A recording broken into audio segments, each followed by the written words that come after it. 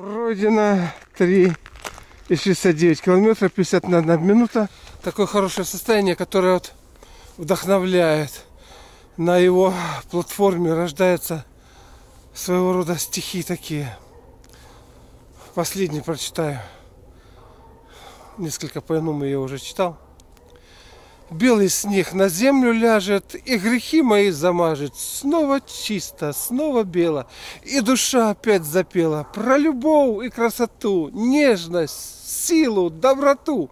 Все, что в небо увлекает и нас к Богу приближает. Ой, хорошо. То есть я заметил, что вот у меня на основе моих занятий, тренировок, умственного процесса рождаются больше такие гимны, которые возвышают человека. И я вам, вам рекомендую возвышать себя. Возвышаться за счет природы. Возвышаться, возвыш... возвышать ее саму, понимаете? То есть, ведь я и ты, две меры этой красоты. Помните мое стихотворение?